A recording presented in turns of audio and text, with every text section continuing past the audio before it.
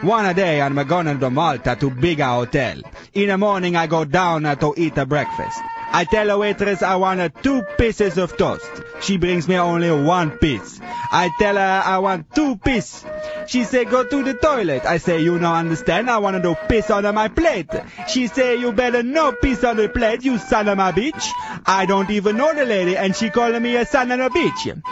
Later, I go to eat at a bigger restaurant. The waitress brings me a spoon and a knife, but no fork.